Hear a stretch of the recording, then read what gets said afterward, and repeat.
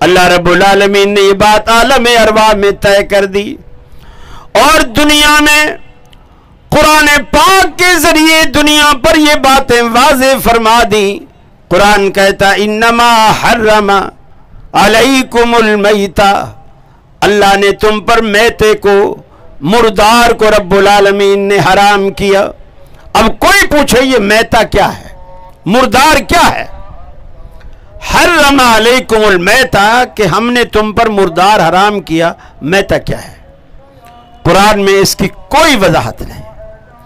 हदीस में इसकी सराहत है। वो सराहत ये है कि मैता हर वो जानवर है जो बेशक हलाल हो, लेकिन उस पर तकबीर ना पढ़ी जाए और बगैर तकबीर पढ़े, बगैर खून बहाए वो मर जाए। मुझे बतलाइए मछली को आप लोग ज़िबा करके खाते हैं? मछली को ज़िबा करते हैं? नहीं करते। कुरान के मुताबिक आप हराम खा रहे हैं। कुरान के मुताबिक आप हराम खा रहे हैं। इसलिए कि कुरान कहता है, भले वो जानवर हलाल हो, अगर आपने उसे तकबीर पढ़ के ज़िबा नहीं किया, वो हराम है। और मछली को मेरा ख्याल है सिवा बोरियों के कोई ज़िबा नहीं करता। बोरी ज़िबा करते। और अजीब बात है, हमें हलाल होने का, खाने का बड़ा जोम है। हम नहीं ज़िबा करते, और जो सारी ज़िंदगी उनका खाते ही आराम है, वो मछली ज़िबा करके खाते। मछली बगैर ज़िबा के क्यों खाते? नबी करीम सल्लल्लाहु अलैहि वसल्लम ने फरमाया दो मौतें अल्लाह ने तुम पर हलाल किए एक मछली और एक टिड्डी। ये जो अभी कुछ अरसा पहले बलूचिस्तान में और अंदरून सिंध में भी आई हुई थी, झुंड के झुंड आते हैं बादलों की तरह और दरख्तों पे, फ़सलों पे, बस ऐसे तबाही करके गंजे गंजे दरख्त छोड़ देती, पत्ते सब खा जाते। वो भी हलाल है। भाई उसे पकड़ो, कोई तफरी पढ़ने की ज़रूरत नहीं, ज़िबा करने की ज़रूरत नहीं। परवर उसके नोचो, सर नोचो। बाकी जो धड़ बचता है, बिल्कुल झींगे की तरह होता है वो। बाकी जो उसका धड़ बचता है, झींगे की तरह होता है। स्वाद भी कोई तकरीबन मछली वाला ही होता है। अच्छा स्वाद होता है। तो उसको बस आग पे सेको, भूनो, नमक वगैरह छिड़, लगाओ और खा जाओ। ये दोनों चीज़ें अल्लाह के रसूल ने फरमाया, अल्लाह ने तुम पर हलाल की। कुरान मजीद में आप जितने भी जानवर हैं, आपको सिवाय खिंजीर के किसी की हरमत नहीं मिलेगी। अगर आप अहले कुरान हैं, आप सिर्फ़ खिंजीर को छोड़ सकते हैं, कुत्ता भी नहीं छोड़ सकते। फिर तो ये लाहौर वाले, स्टेशन वाले, एयरपोर्ट वाले, ये जो बिरयानियाँ कुत्तों की और गधों की खिला रहे हैं, वो तो फिर नाजायज़ नहीं कर रहे, सही कर रहे। कुरान के मुताबिक सही कर रहे।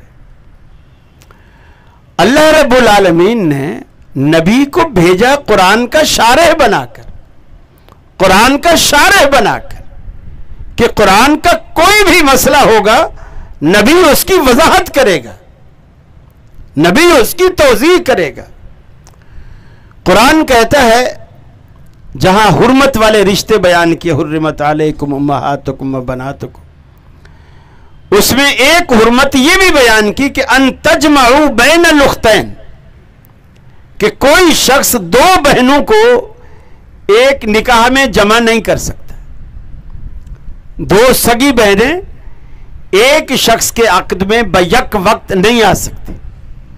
हाँ, अगर एक बहन फौत हो जाए, उसकी दूसरी बहन से शादी की जा सकती। एक बहन को तलाक हो जाए दूसरी बहन से शादी की जा सकती है, बशर्ते के ससुराल वाले राज़ी हों। क्योंकि जब पहली को ही तलाक दे दी तो दूसरी कौन बेवकूफ़ देगा? तो लेकिन अगर कोई बेवकूफ़ बन जाए तो बहरहाल पहली के अलग होने की सूरत में दूसरी से शादी हो सकती है। कुरान के मुताबिक सिर्फ़ दो बहनों को जमा नहीं किया जा सकता। हदीस ने इसकी वजाहत की। फरमाया, दो बहनें तो हैं, जमा नहीं करनी। लेकिन अपनी बीवी की भांजी और अपनी बीवी की भतीजी, इन दोनों को, यानी बीवी की जो भांजी होगी, वो खाला की, यानी बहन की बेटी होगी, वो भी जमा नहीं कर सकते और भतीजी भी जमा नहीं कर सकती, एक ही निकाह पे। इसी तरह खाला और फूफी वो भी जमा नहीं कर सकते, एक ही निकाह के अंदर। हदीस ने उसकी तोजी कर दी तशरी कर दी, जबकि कुरान सिर्फ़ दो बहनों का बना करता है। फिर अगर कोई शख्स अपनी बीवी को अलग अलग मजलिस में तीन तलाकें दे देता है, जैसा कुरान में आता है अतलाक मर्रतान फ़िमसाकुम बमारूफ़िन औ तसरीहम बहसान कि तलाक के दो मौाक़े हैं जिनके बाद औरत हलाल रहती है। औरत दो तलाकों तक औरत हलाल रहती है और इसी तरह, यानी उसके घर में रहे। अब कुरान ये कहता है कि जब तीन तलाकें हो जाए, दूसरी के बाद उसने तीसरी भी वक्फे से दे दी, तीन तलाकें हो जाए। अब तीन तलाकें होने के बाद औरत अपने खामंद पर हमेशा के लिए हराम हो गई।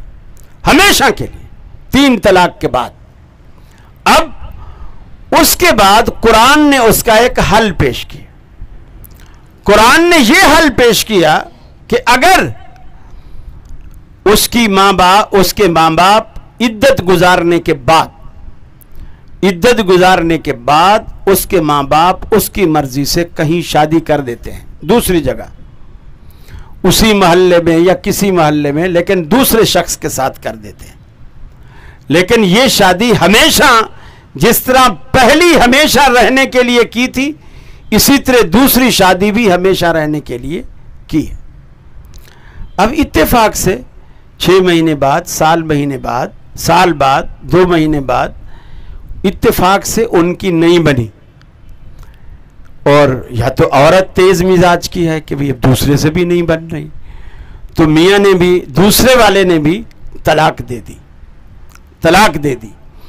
अब कुरान यहाँ सिर्फ़ इतना कहता है, हत्ता तन के हजौजन गैरा। कि वो औरत दूसरा निकाह जब कर ले, फिर वहाँ से छूट जाए तो अब पहले वाला खामन और दूसरे वाला, दूसरे जो बीवी है, पहले वाली बीवी और पहले वाला खामन, अगर ये दोनों आपस में फिर मिलना चाहते हैं तो अब इनका रुजू तो नहीं हो सकता, निकाह दोबारा हो सकता। निकाह दोबारा हो सकता है। अब जो मसला मैं समझाना चाह रहा था, वो ये कि कुरान कहता है कि हत्ता तन के हजौजन गैरा। सिर्फ़ दूसरे खामन से निकाह काफ़ी है। कुरान जो कहता है, पहले खामंद के लिए, हलाल होने के लिए, दूसरे खामन से निकाह काफ़ी है, जिससे हनफियों ने हीला निकाला, जिसको वो हलाला कहते हालाँकि हलाला आर्टिफिशियल है और ये रियल निकाह की कुरान बात कर रहा है।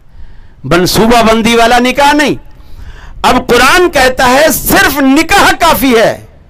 दूसरा, निकाह काफ़ी है, फिर वो तलाक भी दे दे तो पहले खामन से उसका निकाह हो जाएगा। हदीस कहती है, नहीं, सिर्फ़ निकाह काफ़ी नहीं है। एक औरत नबी करीम सल्लल्लाहु अलैहि वसल्लम के पास आई। पहले खामन से वो तलाक याफ्ता थी।